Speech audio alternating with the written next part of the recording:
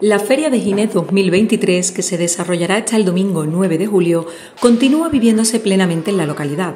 Es el caso de la jornada del jueves, que arrancó en el Parque Municipal Concejala Dolores Camino con la undécima carrera infantil.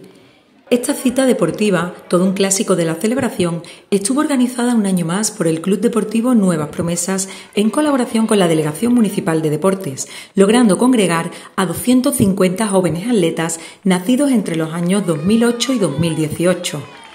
A lo largo de la tarde se fueron sucediendo las diferentes carreras por categorías, 11 en total desde cadete hasta pitufo, con distintos circuitos por el interior del recinto que oscilaron desde los 200 metros para los más pequeños hasta los 1500 para los más mayores, todos ellos guiados por voluntarios integrantes del club.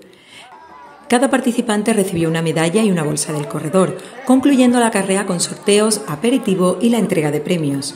En este sentido, en cadete se proclamaron campeones Clara Navarro y Pedro Manuel Aristo, haciendo lo propio en infantil Alba Pelayo y Alberto Sánchez. En Alevín los vencedores fueron Ana Mora y José Mi Vallejo, mientras que en Benjamín fueron Marta Galán y David Vega, y en la categoría pre-Benjamín lo hicieron Esther Vallejo y Mauro Espinosa. Finalmente Irene Mariscal y Abraham Lord llegaron los primeros en modalidad pitufo. De nuevo, la prueba contó con un matiz solidario, destinándose lo recaudado a la Asociación Local de Personas con Discapacidad Cuando tú quieras. De forma paralela, en la caseta municipal tenía lugar la tradicional cena homenaje al mayor, organizada desde el Centro de Participación Activa Santa Rosalía para reconocer públicamente la labor e implicación de las personas de más edad en activo pertenecientes a dicho centro. Este año los homenajeados fueron Adelis Rodríguez Morillo y Manuel Cejudo Muñoz, de los que se leyó una bonita semblanza antes de hacerle entrega de una placa y un ramo de flores a cada uno.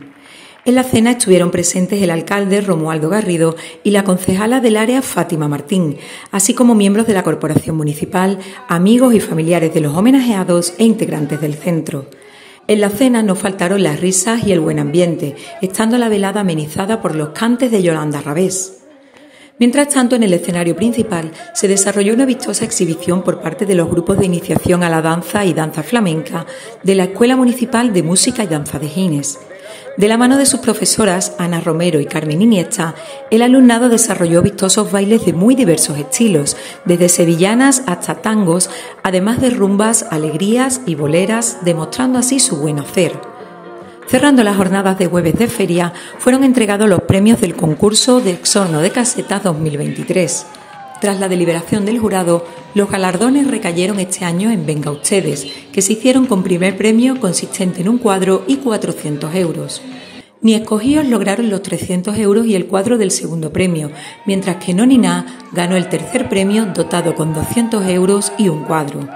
Los de la Alcoyana consiguieron los 150 euros del cuarto premio y la Asociación de Mujeres Los Linares se hizo con el quinto premio y 100 euros.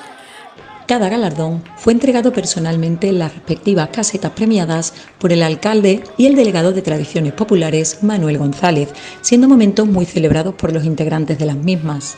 Tras la jornada de jueves, Gines enfila ya un fin de semana repleto de actividades para seguir viviendo al máximo la Feria de Gines 2023. Toda la información, así como el programa completo de actividades, pueden consultarse en www.ayuntamientodegines.es.